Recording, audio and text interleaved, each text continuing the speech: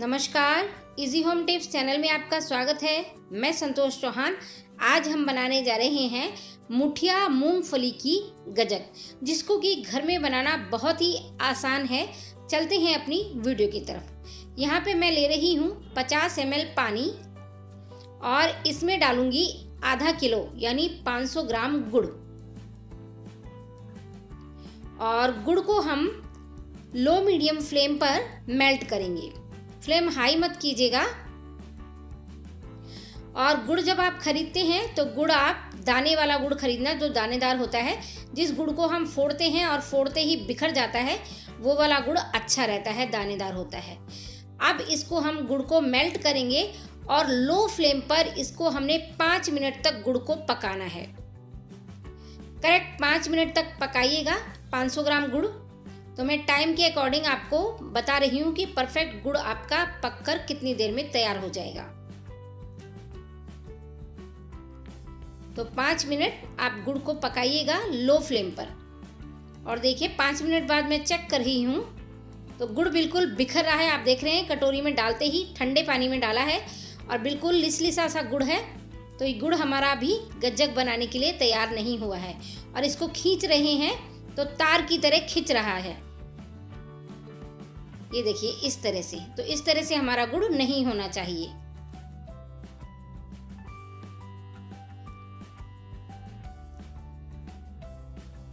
अब ये गुड़ को पकाते हुए कम से कम आठ नौ मिनट हो चुके हैं और इसमें अब मैं डाल रही हूँ वन टेबल स्पून घी।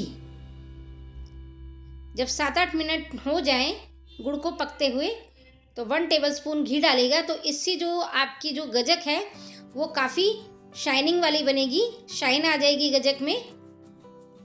तो वन टेबल स्पून घी डालिएगा।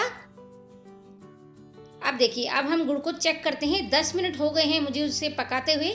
तो आप देख रहे होंगे कि जब मैं डाल रही हूँ तो बिल्कुल भी ये नीचे फैल नहीं रहा है। ठंडे पानी में डालिएगा। और अब इसकी देखिए, मैं दिखा रही हूँ।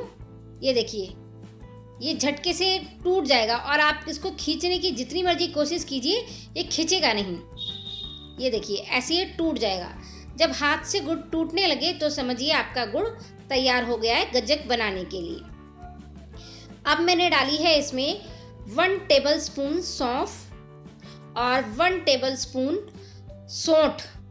ड्राई जिंजर पाउडर जो होता है, सौंठ जिसे कहते हैं। अब दोनों को मिला देंगे। फ्लेम लो है बिल्कुल।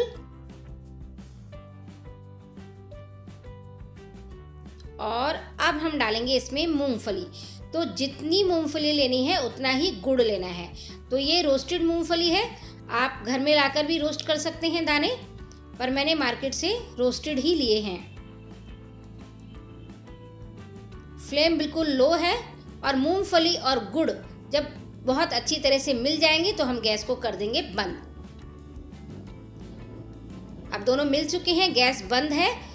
और ये केवल एक मिनट रखने के बाद ही, एक दो मिनट रखने के बाद ही, बस इसको ऐसे आप शेप दे देना। रफली शेप देनी होती है। मार्केट में आपने देखा होगा कि बिल्कुल जो मुठिया गजक होती है मूंगफली की, उसकी रफली शेप शेप होती है। तो इस तरह से शेप आप बना सकते हैं। क्योंकि ये ज़्यादा इजी रहता है। अगर आप इसको जमाएँगे तो थोड़ा कट करने वगैरह में जो पहली बार बना रहे हैं तो उनको दिक्कत आएगी। तो देखिए, आवाज़ आप सुन पा रहे होंगे। काफ़ी क्रिस्पी बनी है। बस गुड़ का हमें ध्यान रखना है कि गुड़ हमारा परफेक्ट तरीके से पक जाए। तो मुठिया मूंगफली की गज्जक हमारी बनकर तैयार है। वीडियो पसंद आई हो तो प्लीज़ लाइक कीजिएगा और इसी तरह की वीडियोस के लिए चैनल को सब्सक्राइब कीजिएगा। वीडियो देखने के लिए आपका बहुत बहुत धन्यवाद।